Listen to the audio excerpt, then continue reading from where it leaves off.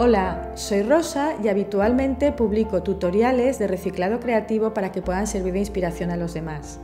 En este caso le doy la vuelta a la cámara para agradecer las más de 20 millones de visitas y los más de 100.000 suscriptores a mi canal.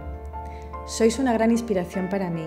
Quiero daros 20 millones de gracias y 100.000 abrazos. Comparto objetos que realizo a partir de material que tiramos a la basura y demuestro que con un poco de creatividad y herramientas muy básicas podemos dar una segunda vida a los objetos.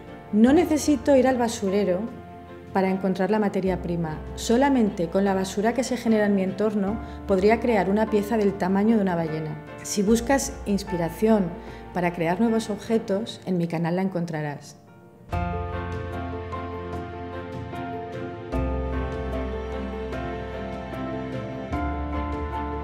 Los expertos calculan que cada año tiramos al mar unas 8 millones de toneladas de plástico.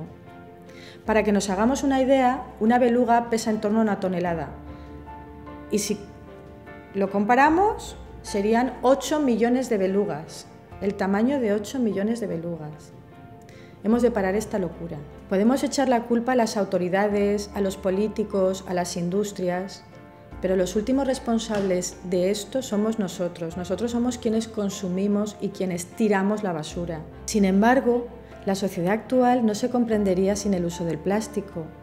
Los teléfonos, los ordenadores, los electrodomésticos, incluso los hospitales hoy en día serían inviables sin el uso del plástico. Es cierto que debemos de reducir el consumo de plástico, pero si lo haces, te animo a que encuentres inspiración en mi canal.